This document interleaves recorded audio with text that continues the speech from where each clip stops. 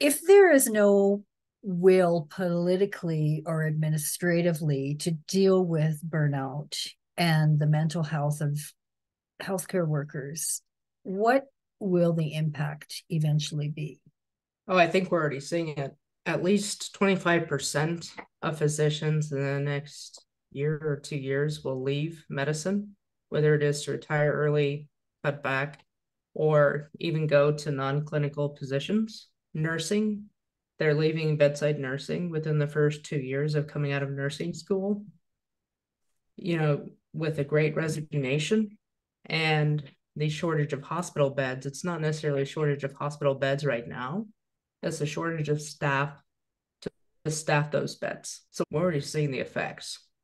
And that is not even capturing the 400 physicians that take their life per year in the United States. Wow. Yeah, that's in the United States alone. That's not reflecting anything that is going on in the UK. We know that their junior doctors have been on strike. We know that Canada is facing the same thing. Your physicians. Mm-hmm. How is that okay? I mean, how is all of this okay? If this were any other profession, it would be talked about.